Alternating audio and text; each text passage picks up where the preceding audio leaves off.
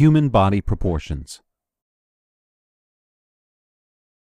In this video lesson, you will discover the classical human body proportions that every fine artist must know. This knowledge will help you to draw realistic human figures not only from life, but also from your memory and imagination. Without knowing the proportions of the human body, it's almost impossible to avoid mistakes in figurative art. So let's begin one of the most important lessons in this course. I will do a quick sketch of a standing male figure. The vertical line that runs through the middle of the figure, from top to bottom, is called the medial line. It is the central axis of the figure.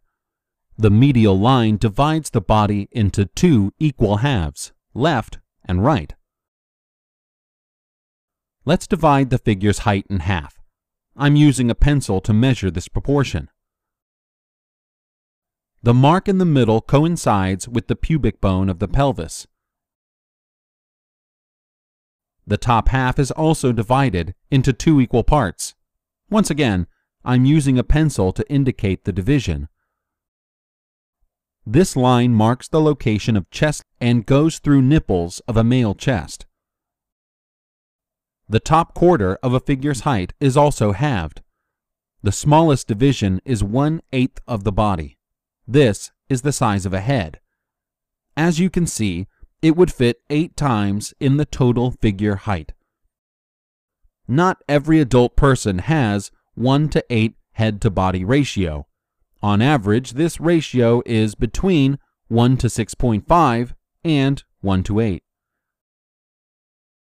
Infants and children have relatively bigger heads, and as they grow, the body becomes considerably taller, while the head doesn't grow as much. At the base of the neck there is a notch, which is called the suprasternal notch. It is located just above the breastbone.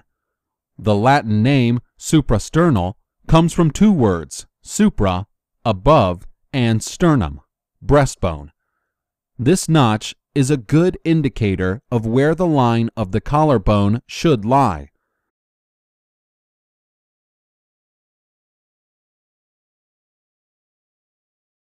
The distance between the upper edge of the rib cage and the lower end of the breastbone is equal to the height of the head.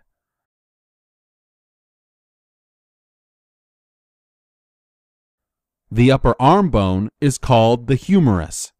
It runs from the shoulder to the elbow. The lower end of the humerus coincides with a line that is three times the height of the head from the top of a human figure when the arm is hanging down. The wrist's position is on the same level as the pubic bone, halfway up the body.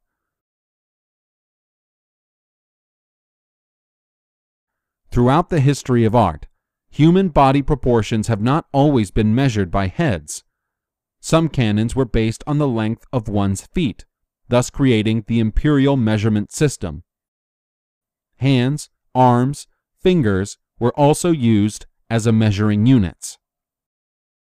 The word canon, or set of proportions, comes from Latin and means measuring line. In ancient Egypt, artists used feet as a measuring unit, while the head fit into the body eight times. Early Greek art had a seven and a half head canon, while later classical Greek art shifted to eight heads, making legs longer to create an athletic body structure. In the Renaissance, artists rediscovered the classical canons and developed their own. Old masters like Vitruvius, Leonardo da Vinci, Albrecht Dürer, and many others were fascinated by the human body and studied its proportions with a great thirst for knowledge. Let's come back to the drawing. Here is a male figure in profile. It has been drawn in the same eight head canon as the previous one.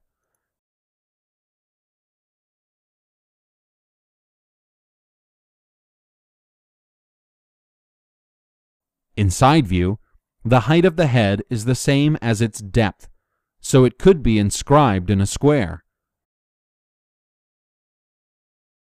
The waist has the same depth, as does the pelvic region.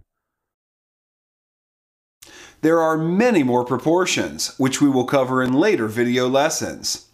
Here is a bonus tip for you. If you are going to the Life Drawing Studio tomorrow and find that you've forgotten most of the information you've learned today, keep in mind the following rules. They will ensure your figurative artwork is well proportioned. 1. The anatomical center of the body is the pubic bone. 2. The distance from the toes to the top of the kneecap is equal to the distance from the top of the kneecap to the iliac crest. And this is the same distance between the pubic bone and the top of the breastbone.